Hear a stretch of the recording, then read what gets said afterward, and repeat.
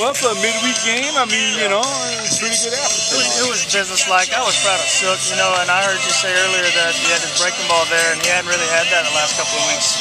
And if he can throw that breaking ball like that, he's got a chance to really help us. I was proud of him.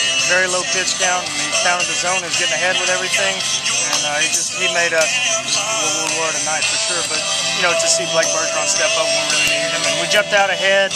We didn't really we, we fell asleep a little bit in the second, third innings, and then we finished the right way. So I was proud of him.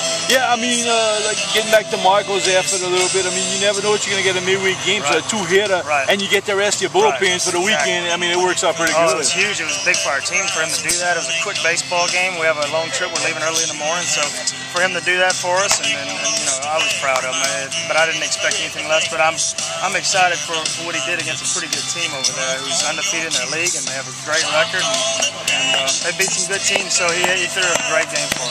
Yeah, you know, and Blake, you know, first career multi-homer game, and, and the wind was blowing in, but I guess the less humidity, the, the ball seemed right. to carry It tonight. did carry, and a couple balls got out there pretty good that I didn't think would, but he did. He stepped up big for us. Had, he said you know, he put us on his back a little bit offensively right there and really helped us out. I don't think he cares if the wind was blowing or out, but like you said, uh, humidity maybe have helped out a little bit, but we definitely carried with the wind blowing in.